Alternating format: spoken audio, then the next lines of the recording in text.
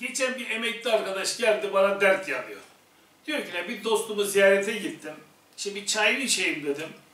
Oturdum diyor. İşte orada başka misafirler de vardı. Şimdi onlar konuşuyor. Ben de kulak misafiri oldum. Baktım diyor. O biri diyor ki "Ya benim araba bir buçuk milyon. Diğeri diyor ki benim araba iki buçuk milyon. İşte bunu vereceğim üç milyona başka araba alacağım. Üzerine bir milyon vereceğim. Şunu alacağım falan filan diyor. Psikolojim bozuldu diyor. Yani benim aldığım maaş belli diyor. Ben o maaşı diyor hiç yemeden diyor bir kenara koysam 100 yılda alamam o parayı diyor. Yani şimdi bunlar arkadaşlara ben bunları tavsiye ediyorum. Böyle yüksek rakamlar konuşmayalım veya konuşurken yanımızdaki insanlara dikkat edelim. Herkesin yanında konuşmayalım. Şimdi geçen bir videoda işte ben bir buçuk milyonu attım diyor. O biri ben şu kadar bahşiş verdim diyor.